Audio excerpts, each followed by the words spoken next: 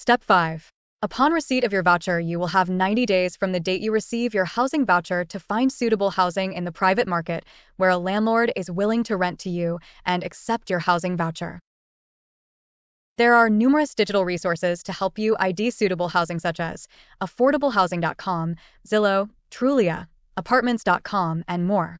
You may select suitable rental housing from a variety of rental housing types including multifamily or single-family housing. If you do not find housing within 90 days, you may apply for a 30-day extension before your 90 days is up. If your housing voucher expires, you may lose your voucher, so it is very important to complete your search within the 90 days.